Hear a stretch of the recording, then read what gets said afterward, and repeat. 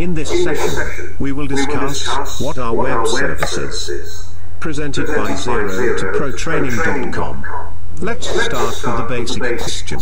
What are web services? Web services are components that convert regular applications into web applications. In order to study web services, you should have a basic knowledge of HTML and XML. XML and HTTP form the basic platform for web services. XML is a language that could be used to express complex messages between different platforms and programming languages.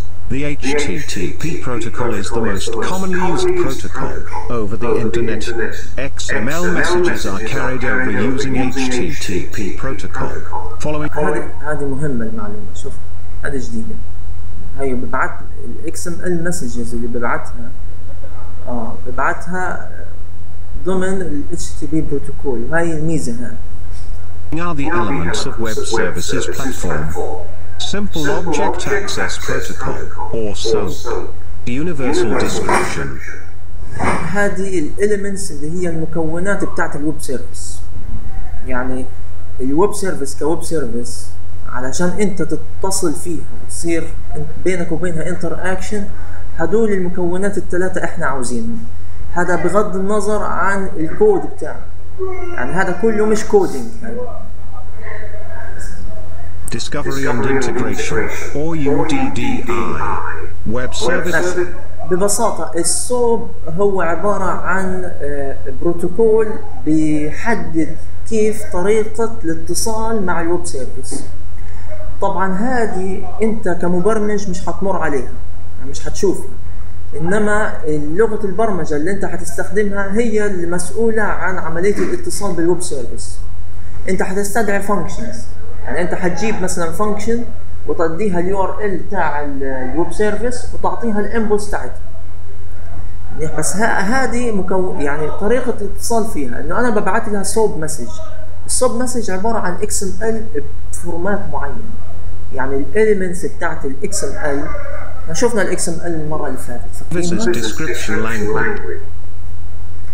ال UDDI برضه حتكون عبارة عن XML وال WSDL برضه XML كل هدول مكتوبين ب XML من لغة ال XML كلهم لكن مكتوبين ب format معين بشكل معين بال XML فكل واحدة لها فائدة هذه فائدتها الاتصال مع ال server.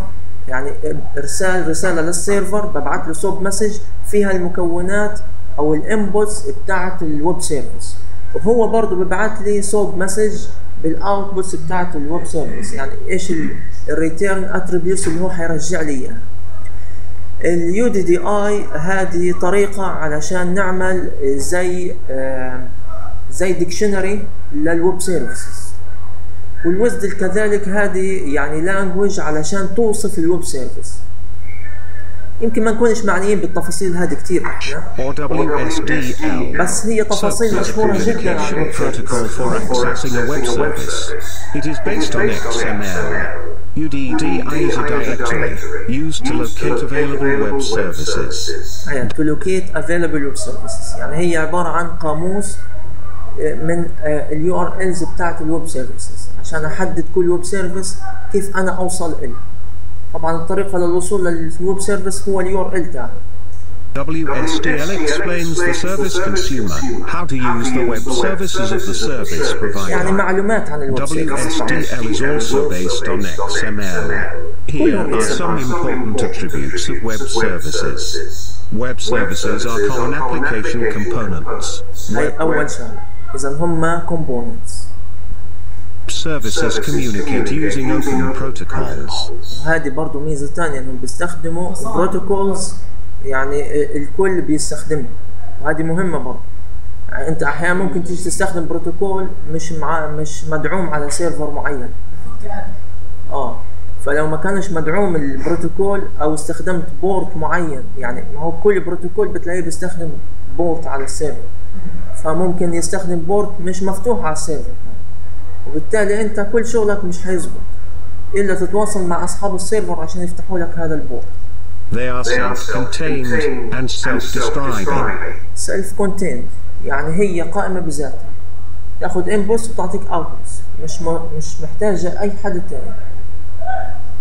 و self-describing برضه اللي هي عن طريق ال WSDL اللي هو ال WSDL اللي حكى عنه قبل شوي هذا.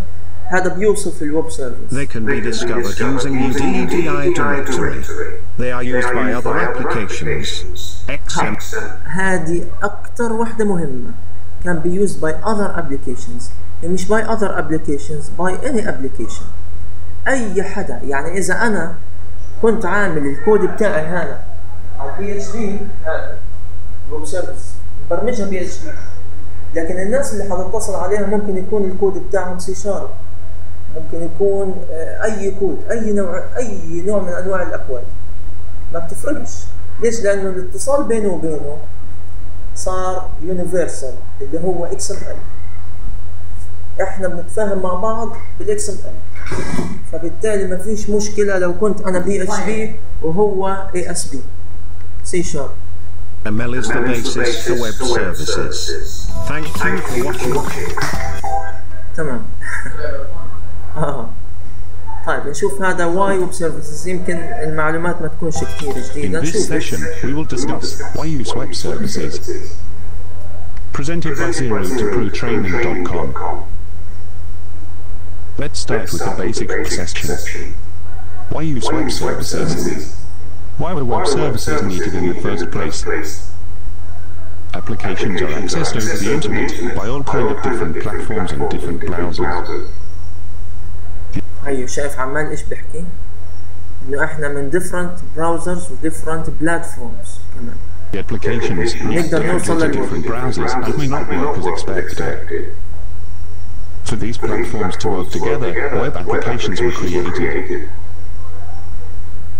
هذا السبب اللي حكينا الفرق بين ال web وال desktop قبل شوي هو هليت بده يوصلك للويب انه ليش إحنا رحنا So لل web what are web applications? platform آه ال platform هو يعني ممكن تحكي عن ال- ال Windows platform وال Linux platform. آه كترجمة ها هاي الترجمة اللغوية بتاعتها.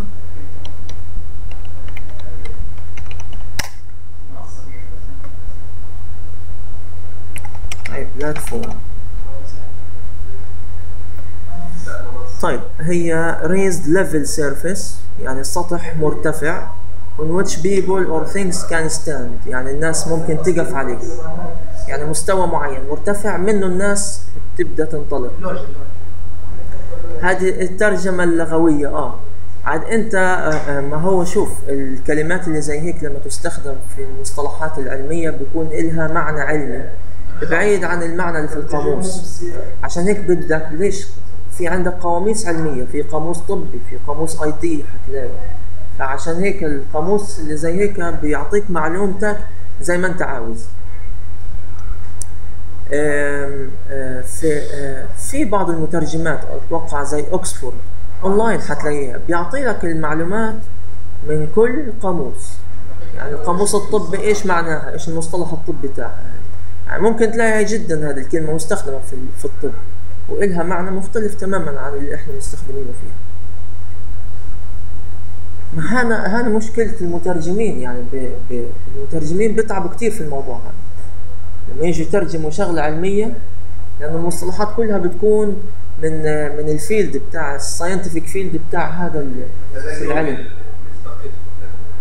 آه إذا كان المترجم بده يترجم من قاموس بالطريقة هذه حيطلع يعني حاجات عجب. Web applications are simply applications that are designed to work on the web. انتوا These are built around the web browser standards. They could be used by any browser on any platform. آه، هذه الميزه شايف تقدر تستخدمها على اي براوزر Interoperability واي has بلاتفورم transformed applications. اه اجل الانتر اوبرابيلتي اللي هي عمليه التواصل between applications اي معنى ال interoperability applications into web applications.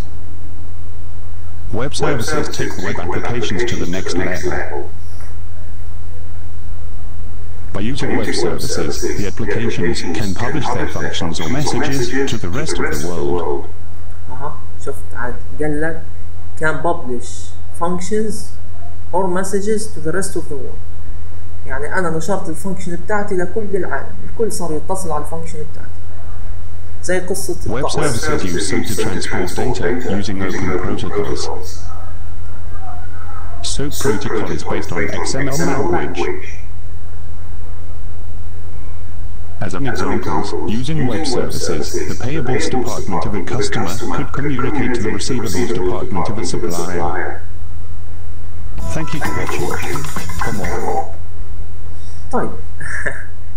آه، بجوز أنتم يمكن ال web services عشان أول مرة تسمعوا فيها بس أنا بركز لكم عليها. لأنه في إلها فايدة في موضوع ال security اليوم لأنه العالم كثير صار يتجه نحو ال web services. فصار في مجال security على ال web services. وهذا المجال لازم تبدوا تقرأوا فيه. وأنتم حتكونوا يعني آه، القصة هذه بتهمكم كثير وما اظنش يعني ما اظنش إنه في في أحد مناهجكم حدا اتطرق للقصة هذه. فابدأوا اقرأوا فيها. دوروا على موضوع ال web services وال security الخاصة بال web services بس لازم قبل ما تفهم ال web service يعني أنت خلي بالك أنت عمال يعني موضوع الطقس هذا. تخيل أنت بتتصل بتبعت XML وبرد عليك ب XML. طريقة الاتصال بينكم هذا. هو ممكن يصير عليه هيك. ال XML هذا يصير حدا يعمل sniffing عليه و... ويسرق المعلومات اللي فيه. يقعد لك man in the middle أو يصير ياخذ ال XML. يعني اللي ما أنا بعطيك من الضرر هذه عليك. فموضوع ال- ال web services لأنه صار شائع كثير ففي مواضيع security كثير فيه انفتحت أمثلة. هو شوف أي web service هنفتحها حتطلع لنا ملف XML في الآخر يعني ممكن إحنا نبحث على جوجل بشكل عام. free web service ندور عليها ونشوف ال... لو طلبنا ال URL تاعها إيش حتعطينا.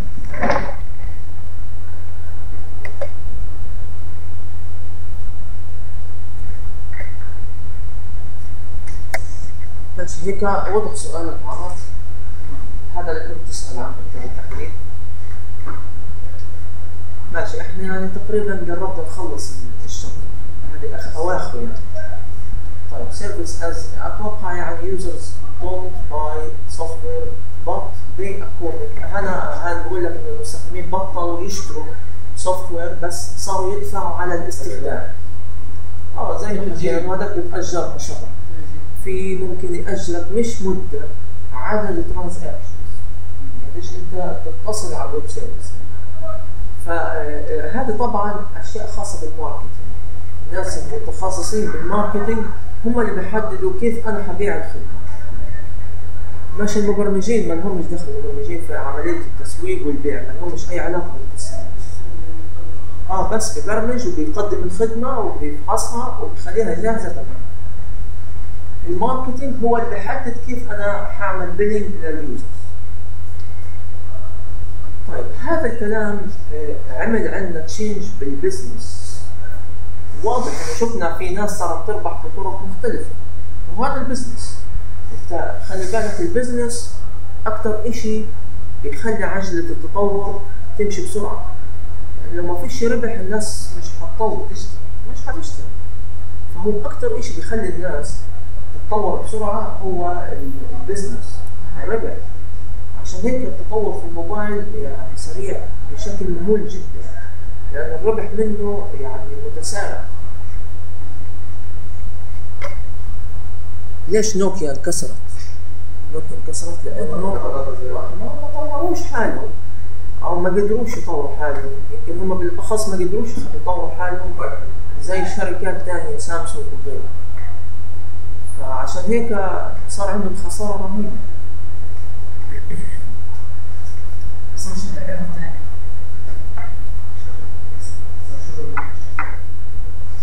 بتغير ممكن انت كمان عشر سنين تلاقي نوكيا رجعت هي الصدارة هي الشركة الأولى في العالم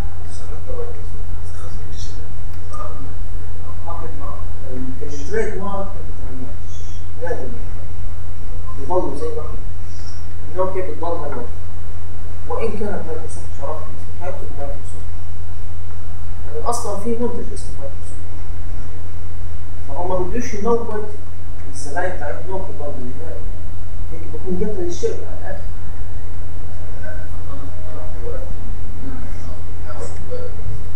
لوبيا ها هذا بينزل عليه ويندوز ويندوز فون آه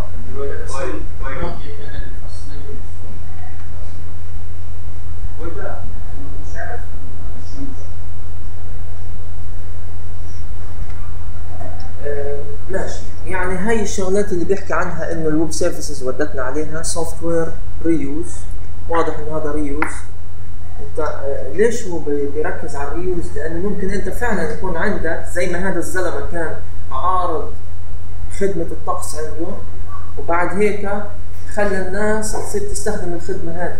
هذا reuse وممكن يكون أنت عندك فعلا أكواد زمان كتبتها وما أنتش مستفيد منها. مش قادر أنت تجني أرباح منها. فانت بتصير زي هيك بتبيعها ك web services والناس هي اللي تسوقها وتستفيد منها.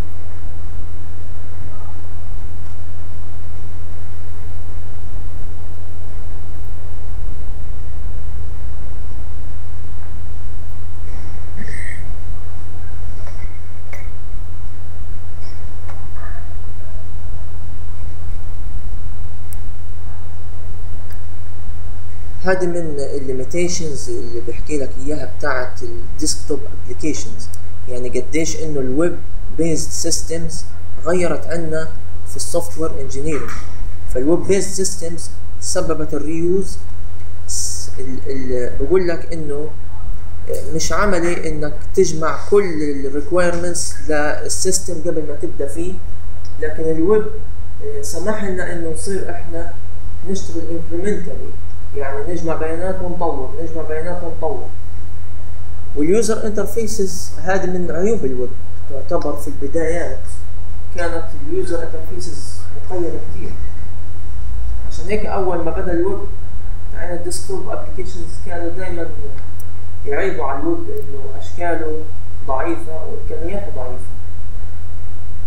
بس اليوم لما صار في عندنا ال Ajax وال jQuery وال Bootstrap وخلافه هذه الشغلات لما دخلت على الويب خلت ال interface تاع ال web interactive كتير. يعني زمان انت عشان حاطط مثال بسيط بس عشان يوريك قديش انه ال desktop application كان بيتغلب على الويب ولما اجت ال Ajax وال jQuery وال Bootstrap غيروا كتير على الويب وخلوا سرعة الاتجاه للويب أعلى بكتير. خلينا نروح على نظام ال Moodle مثلا انت هذه ال web page لو أنا كتبت ال username وال password وعملت تسجيل إيش بيعمل؟ حيحولني اطلع هان إيش عمل؟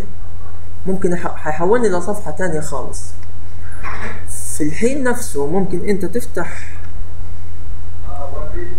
application الاتصال ما يكونش على مستوى الصفحة كلها يعني هنا لو أنا مثلا بدي أعبي application مش عارف إيش في عنا في موقع الكلية application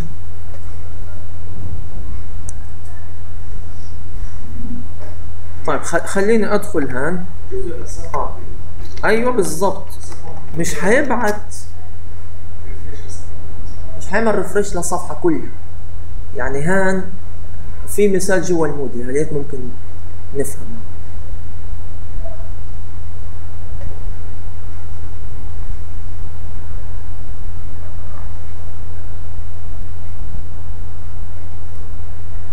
هي turn editing on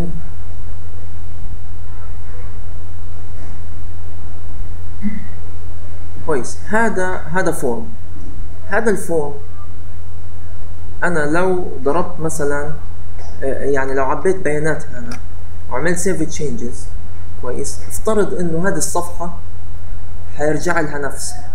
قالت في فرق بين إني أنا أضرب على هذا الزر ويروح يعمل reload لكل ال HTML content هذا كله يعيد تحميله مرة تانية عشان يتصل في ال server آه وفي طريقة تانية لا بيخليش كل ال HTML يعمل reload بروح إيش بيعمل بس على قد ال form بروح ببعت البيانات بتاعته وبعمل refresh على قد ال form.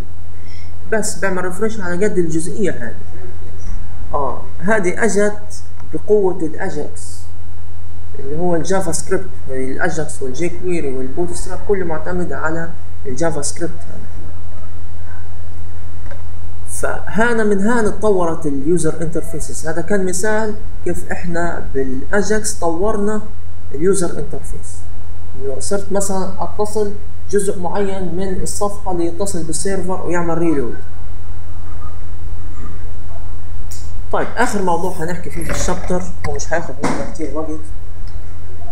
ware engineering ethics ال ethics هي الأخلاق.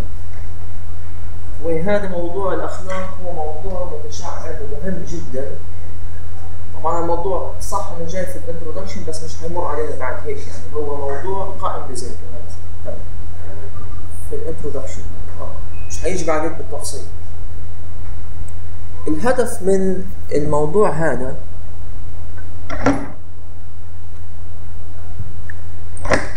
الهدف من الموضوع هذا انه يعلمنا إنه الناس اللي بتشتغل software engineering هي تابعة لقواعد أخلاقية متفق عليها عالميا.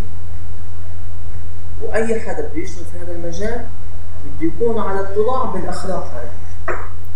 وإنه لو خرق الأخلاق هذه مش شرط إنها تكون الشركة مضياه على اتفاق الأخلاقي علشان هو يلتزم بالأخلاق لا. طالما انت اشتغلت ك software engineer مش شرط software engineer أي حدا بيشتغل في مجال ال computing يشمل هذا الاتفاق برضه.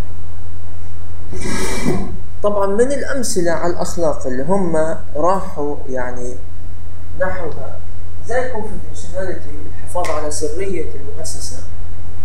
زي ال competence انك أنت تضلك آه، مواظب بالعلم. يعني آه، بمعنى مثلا آه، لو آه، لو في شغلة بدك تعملها أنت بتعرف تعملها ما ينفعش تقول أنا بعرفش أعملها أو بدي أتعلم أعملها وأنت بتعرف تعملها. فهذا يعني هذا misrepresenting لل level بتاعك. أنت ما عبرتش عن المستوى بتاعك بالشكل الصحيح. هذا هذا بسموه misrepresent of your level of competence عايز تقبل شغل اللي انت بتعرفه. والعكس. بالضبط. ما ينفعش تاخذ شغل. هي العكس.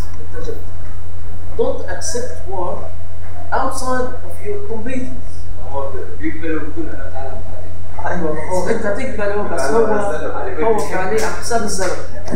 لك انه اذا جت الفلوس خذها بعدين؟ آه. عشان هيك الساعة بتاعت الخبير أغلى بكثير من الساعة بتاعت المبتدئ. لأنه الخبير بيخلص لك ال- الشغلة بيوم هذا بقعد فيها أسبوع. فهذا أسرع. آه. وب- وبنفس الوقت الساعة بتاعته آه، مجمل فيها خبرة فهذه أمثلة طبعا من الأخلاق اللي ممكن آه، إحنا تمر علينا في الشغل. Intellectual property rights هذه حقوق الملكية الفكرية. يعني إذا أنت بدك تحط في الابلكيشن صورة ما ينفعش تاخذ صورة حدا عرضها للبيع. أنت تروح تسرقها وتشيل ال copyright اللي فوق أو على اليمين أو في النص تروح تمسحه وتحط الصورة هذه. هذا طبعا انتهاك لحقوق الملكية هذا هذا كلام ما فيش فيه يعني جدال. يعني يعني الشغلات هذه كلها ما ينفعش أنت تيجي تقول أنا ما بعرفش إنه هذا انتهاك لحقوق الملكيه لا أنت مسؤول عنها. لو غلط في الشغلة هذه من حق صاحب الشركة إنه يرفض ويروح من حقه مش لازم هو يعلمك الشغلات هذه. أنت بدك تيجي متعلم الأمور هذه.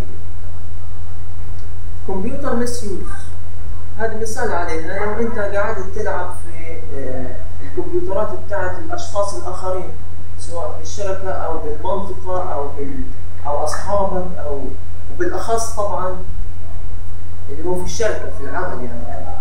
لو انت آه، رحت عملت مثلا نزلت آه، آه، لعبه يعني بمجرد اللعب بس معه نزلت برنامج يعمل كابشر للسكرين بتاعتهم ويبعتها لك على الإيميل كل مثلا خمس دقائق من غير ما يعرف. وفي الآخر أنت جبت لهم الصور على سبيل المزاح. هذا طبعا غير أخلاقي. لأنه هذا misuse computer misuse أنت اسأت استخدام حواسيب الاخرين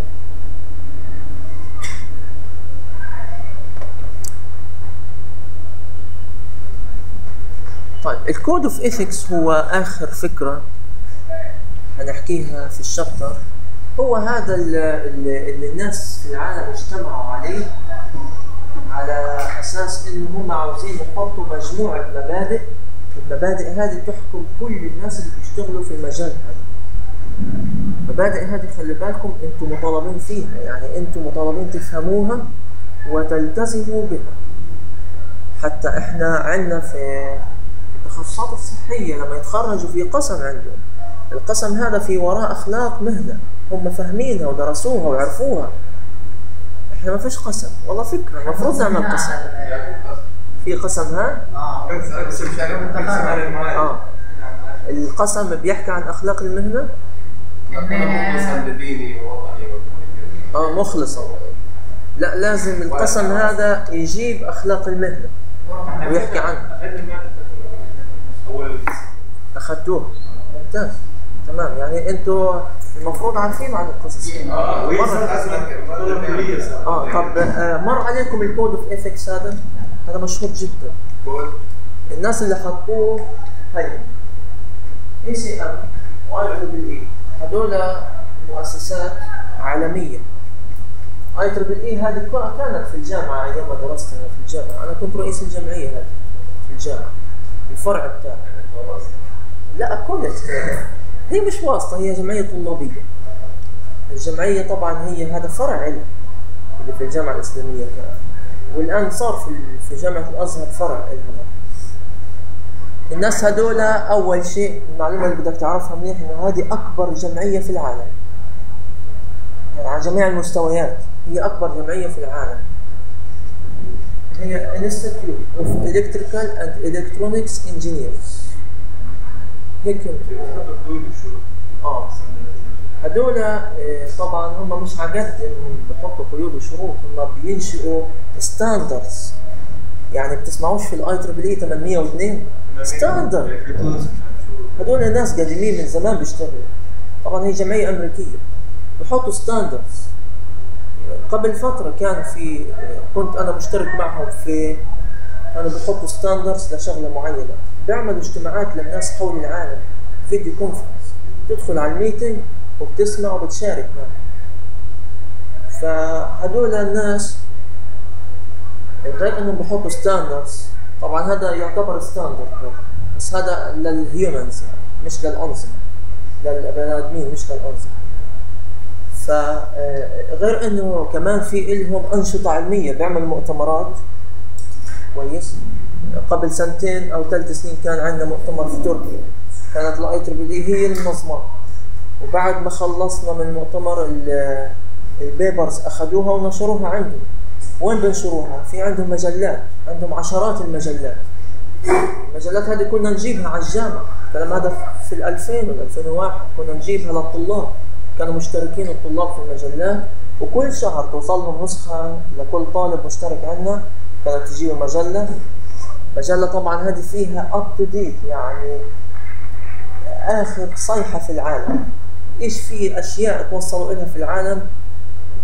يكونوا منزلينها في المجلات. هذه طيب ببساطة الشغلات اللي حكوا عنها هم ثمان أشياء ثمان مبادئ أساسية. هذه النسخة المختصرة في نسخة مفصلة موجودة هنا. لو فتحت الرابط هتلاقي هم هم نفسهم. لما اجتمعوا حطوا الثمان مبادئ على شكل مختصر حطوا على شكل مفصل. المبادئ الثمانية ضبط واجبك نحو العام العوام يعني الناس العاملين واجبك نحو الكلاينت يعني الزبون وال employer المشغل واجبك نحو ال product نفسه واجبك نحو العدالة لو أنت كنت محكم واجبك لو كنت أنت في ال management في, في الإدارة مدير واجبك أنت لو كنت profession محترف يعني في الاحترافية نحو زملائك نحو نفسك. هذه يعني تختصر كل الواجبات والمبادئ اللي انت لازم تلتزم فيها نحو الأشياء الثمانية هذول طبعا في المفصل بيوريك في ال public إيش الأشياء اللي المفروض تلتزم فيها أنت وما تخترقهاش. في تفاصيل كتير يعني. لو فتحتوا الرابط هذا حتشوفوا التفاصيل كلها. هاي code of ethics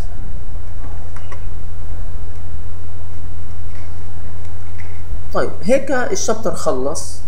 طبعا هذا إحنا قلنا الكيس ستاديز مش هنشرحهم لكن أنتم مطالبين تقرأوهم عشان هيك أنا محدد لكم إياهم كلهم بالأصل.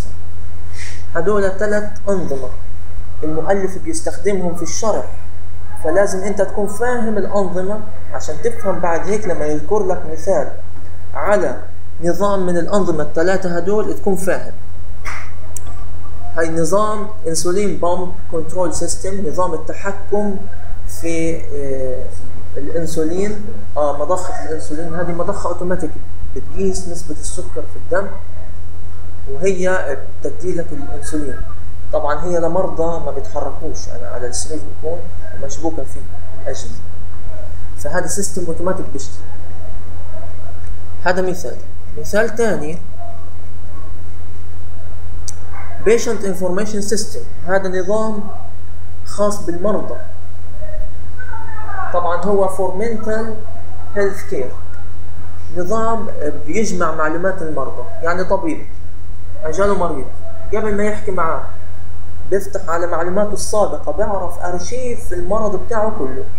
وإيش في أطباء اشتغلوا عليه؟ طبعا هذا بكون سيستم بين كل المستشفيات والعيادات. يعني هو بيشوف كل الأطباء. كل الأطباء اللي عالجوه قبل هيك في أي مستشفى أو أي عيادة. هاي طبعا كويسة كتير لأنها بتساعد الطبيب في إنه يشخص حالة المريض بالشكل الصحيح. بيعرف تاريخه المرضي كله. ال system الثالث wilderness weather station هذه weather station يعني محطة آه، طقس. هو system مجموعة سنسورات موزعة حول العالم. وبتبعت لمجموعة سيرفرات وبيعملوا integration بينهم بينقلوا بيانات بينهم. فهو خاص بالطقس هذا النظام. الثلاث أنظمة هدول لازم نقرأهم نفهمهم عشان بعد هيك لما أحكي عنهم تكونوا فاهمين كيف الأنظمة هذه شغالة.